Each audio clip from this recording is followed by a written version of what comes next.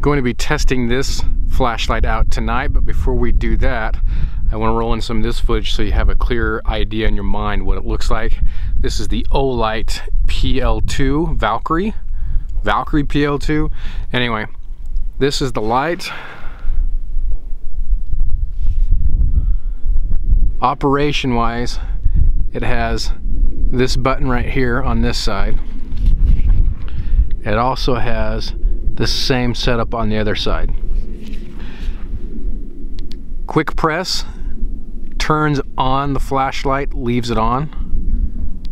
Another press turns it off. This will do the same. Press and hold will turn the light on and then when you let go turns it off other side will do the same thing and then you hit them both together there's your strobe now let's wait for it to get dark. Let's do some shooting with the light. My son and I came out. We're gonna do a quick overnight but part of the reason we came out is to test this Olight Valkyrie PL2 we're gonna do some night shooting. Attach this to some pistols. Have some fun. Two guns we're going to run this on today is the Smith & Wesson M&P 9 millimeter and a Glock 19 9 millimeter. So uh, do some about 50 shots out of this one, 50 shots out of that one. We'll see how it goes.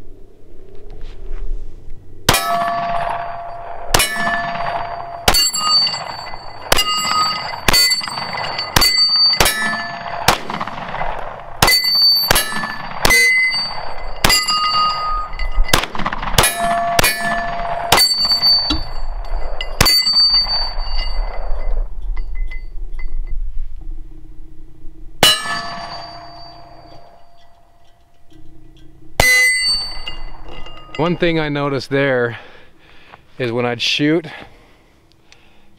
I think I'm preferring my thumb to operate the light, but if I press and hold and I shoot, it kind of pops my thumb off automatically. So press and hold, meaning as soon as I want to let go, it turns off the light. So I press, I shoot, and the recoil kind of takes my thumb off it somehow, and the light automatically pops off. Something to note.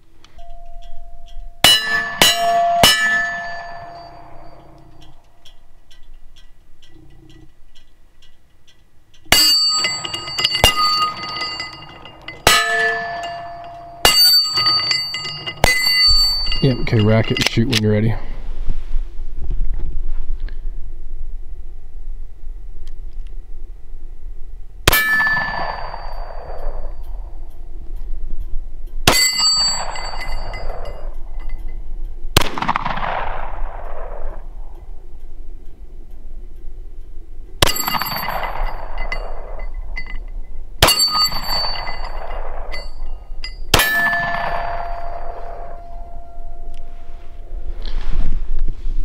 Okay. Okay, change.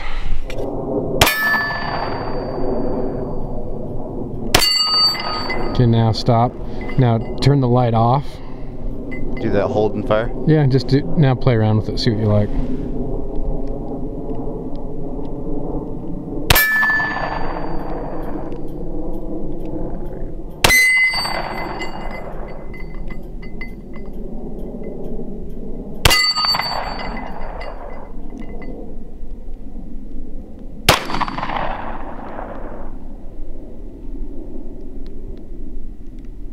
Turn the strobe on, see what you think. While shooting? Yeah. Oh, that hurt. That's hard.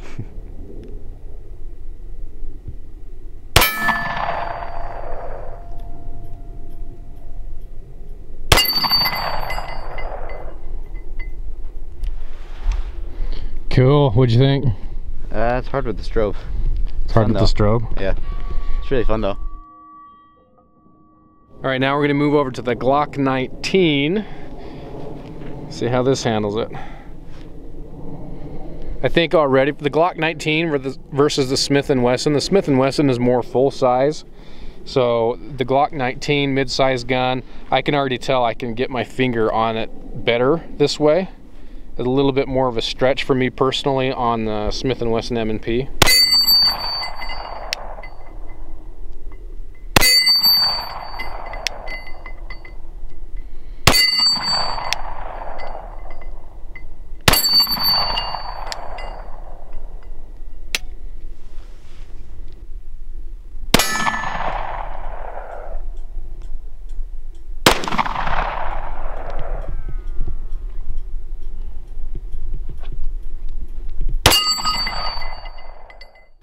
All right, there you have it. So that's the first 100 rounds through it. We're just out kind of playing, testing tonight as we're doing a little camping. Um, that's a lot of fun. I've had one uh, gun light before, but it, it was a very old one. And so I, I actually sold it to somebody because I wanted to upgrade, get something newer technology. So this was pretty fun. I do notice a big difference between, uh, for several different things, between the Glock and the Smith & Wesson. Not, not the brands, but the size of the gun and how the flashlight sits on. For example, when I'm on the Smith & Wesson, if I do my thumb to do this button, so it has buttons on both sides that does the same thing. I'll point it down. So if I do that and shoot, I was able to hold my thumb on that button on the Glock. But on the Smith & Wesson, the full size, as opposed to this mid-size, for me, what I noticed is when I'd shoot, it kind of pop it off my thumb, and so it automatically turn the light on if I had the flashlight in that mode. Um, the mid-size gun, again, a lot easier for my uh, pointer finger to uh, activate the switch. And interestingly enough, shooting the Smith & Wesson was really easy for me in the sights, but when I transitioned to the Glock, oh my gosh, I, I couldn't hit the broadside of a barn and then I had to kind of dial it in. The light just threw me off for whatever reason. So yeah, that's what I noticed. What did you notice? Uh, with the sights, I was the exact opposite. I was able to hit better with the Glock. I think it was the iron sights are glow in the dark.